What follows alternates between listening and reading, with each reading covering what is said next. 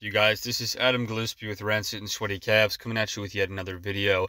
And I would highly suggest that if you are a viewer of mine that happens to have a family and you watch any of my videos with kids in the room, I would recommend they not be in here for this.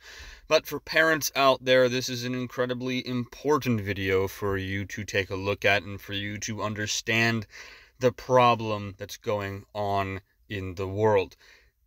Is it any wonder why it is that there are so many people leaving woke corporations in the dust. Is it any wonder why it is that over 4 million subscribers have left Disney Plus in their most recent Q2 earnings report. Is it any wonder why it is that major media corporations have lost billions of dollars when they're pushing this woke propaganda that is aimed at sexualizing the weakest and most vulnerable among us? Is it any wonder why it is that everyone who happens to be in a major media chain or a major chain of any business at all happens to have this absolutely disgusting desire to sexualize kids. Of course, it's not a wonder. Parents don't want their kids being taken advantage of, as is exemplified in the Florida Parental Rights and Education Bill, and woke corporations want the ability to sexualize kids so they can have their way with them and get away with it without having to be prosecuted for crimes when they're actually brought up for criminal charges.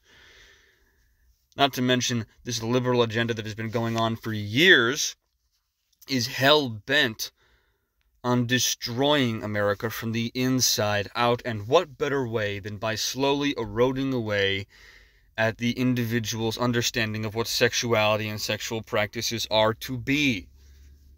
CVS Pharmacy has been caught placing child toys, children's toys, action figures, Barbie dolls, whatever you want to call it, next to adult sex toys and condoms. Sex toys including butt plugs and dildos. And if you take a look here at the marketing of this on this thumbnail here, you've got Magic Reveal Stickers Fun Pad from Disney obviously aimed at little girls, and then a buzzy butt, something that doesn't really sound like a sex toy, but it is called a buzzy butt, a vibrating toy for backside play. This is disgusting. And if you want more evidence of this, check out what happened regarding Graham Allen's viewing of this. Graham Allen posted a, a, video not too long ago on his Instagram. I saw it this morning actually, talking about the fact that there are magnum condoms and other types of condoms for fully grown men next to children's toys. These people are disgusting. These people are horrendous and evil.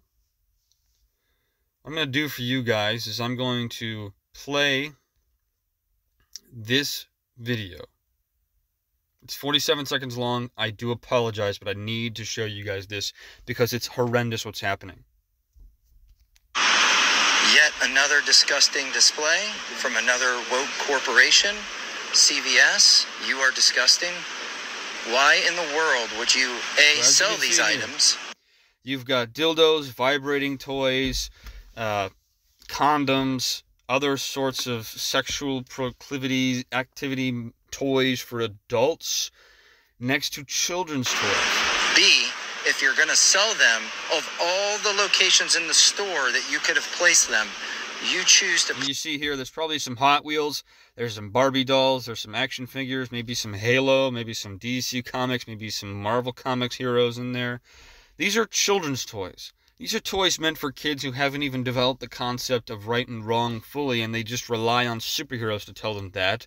And you're putting it right next to freaking sex toys. Place them right next to children's toys.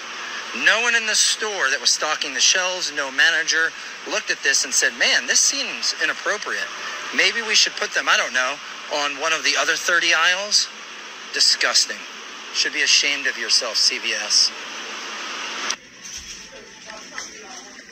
I 100% agree with this guy, and I'm not going to play the rest of the video because you, you've already seen the gist of it. You already get why this is such a big deal. And what can you do about this? You can vote with your dollar. You can do the thing that capitalism gives you the power to do, and you can vote with your dollar and make sure that the businesses and corporations that actually advocate for this garbage go out of business. That's why Disney has lost billions of dollars in recent history.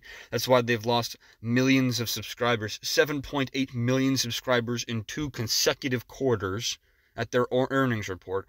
They have lost so much, and it is good, and it needs to keep happening because we need to send these major media corporations a message that they can't just get away with sexualizing and molesting children and be okay. No more of this garbage. No more of these corporations taking advantage of the youngest and most innocent among us. No more. I hope you guys found this video educational. I don't think it's entertaining. I would never claim it to be entertaining, but if you guys enjoyed learning about what's going on, if you guys think this is of value, make sure to leave a like, comment down below your thoughts, share this video with your friends and family subscribe and hit that bell notification icon so you can stay updated and make sure to check me out on my different socials because I have links to those in the description below. One of which is to support me on Patreon, one of which is just just to give me a you know a little bit of a follower boost on Rumble because I'd rather view, rather be on Rumble than on YouTube. Nevertheless, I hope you guys have a great day and a great rest of the week.